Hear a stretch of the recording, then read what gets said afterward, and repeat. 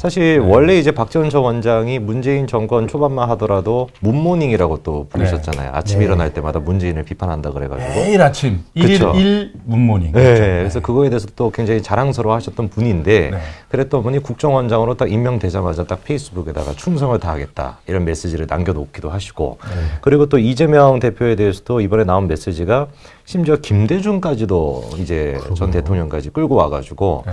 훨씬 대단하다, 약간 이런 식의 워딩까지도 쓰시더라고요. 이재명 네. 대표가 김대중 전 대통령보다 더 대단하다. 네. 이런 워딩을 했어요. 근데 뭐가 대단한지를 보니까 네.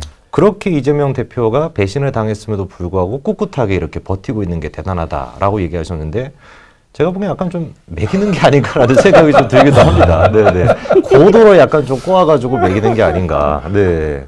그러니까 사실 보수 쪽 지지하시는 분들도 그래도 저기 저 좌파 쪽 대통령 중에서 사실 김대중 대통령을 많이 인정하는 분이거든요. 네네. 뭐 노벨 평화상을 받기도 했고 그런데 근데 이제 그 근데 박지원 박지원 같은 분은 사실 김대중 대통령 때문에 정치 입문하신 맞습니다. 걸로 알고 있는데 네. 이제 그런 사람이 아무리 이재명 이재명 대표한테 아부하려고 해도 네. 김대중 보다 더 훌륭하다. 이거는 좀 너무 나가는 거. 진짜 이거 보기가 너무 안 좋아요. 정말 이거는, 이거는 그 목포나 이 호남 분들이 어떻게 생각하실지 아마 그러니까요. 이 계란맞이를 일일 수도 있을 것 같은데